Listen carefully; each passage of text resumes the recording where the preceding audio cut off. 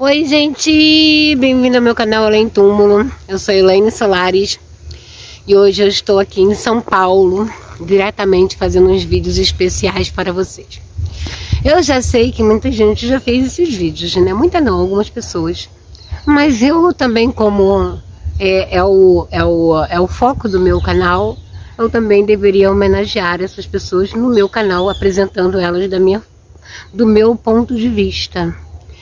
Não, eu não fumei nenhum bandido, tá? Ah, eu queria muito, mas não descobri ninguém. E aí a próxima vez eu vou vir aqui em São Paulo, vou ficar dois dias, né? Vou dormir num hostel. E, e aí eu vou vendo mais pessoas para filmar. É, não vai dar muito para ficar aqui nesse cemitério, já está anoitecendo. E é um cemitério bastante bonito, Getsemane. Ele fica aqui no Morumbi. E olha, ele é muito arborizado, tá vendo? Muito arborizado mesmo. E o interessante desse cemitério, gente, é que as sepulturas, elas ficam voltadas para os corredores, tá vendo?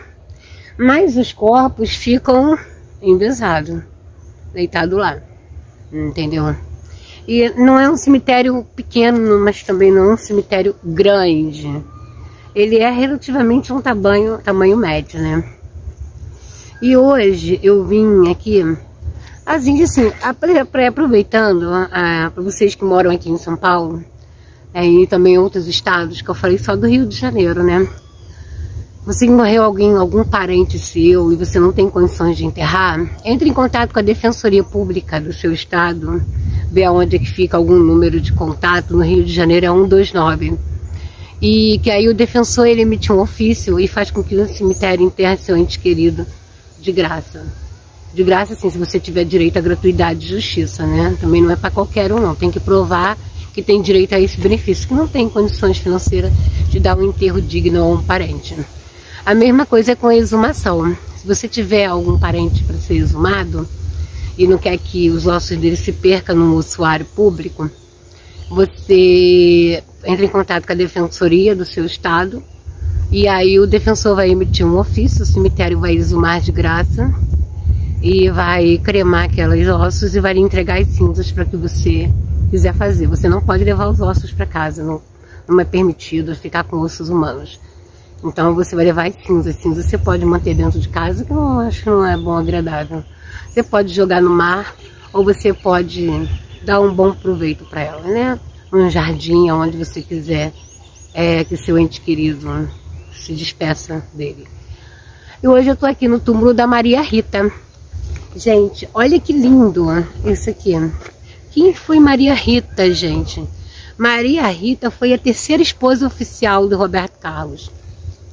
Roberto Carlos primeiro casou com a Nice. Depois de casar com a Nice, ele se separou, acho que teve uma filha. Ele casou com a Miriam Rios.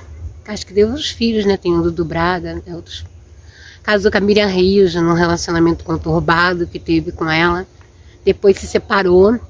Aí ele veio conhecer a Maria Rita. Dizem que ele teve um caso com a Vanderleia também, né? Mas aí são fofocas, rumores, né? Mas onde há fogo, há fumaça. E aí a Maria Rita foi o grande amor da vida dele, né?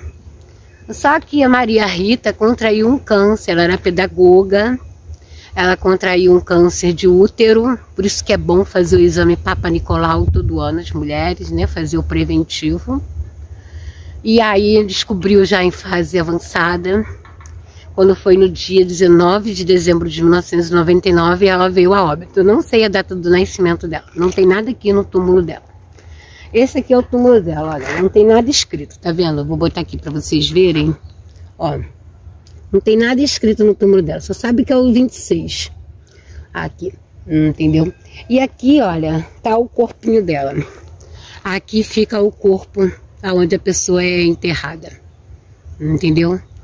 E é isso, né?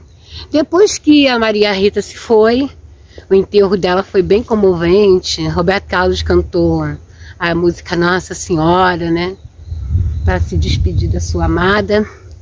E aí ela pegou e ele nunca mais assumiu nenhum relacionamento público com ninguém. O túmulo dela tá bem guardado, é bem visitado. E é isso, entendeu?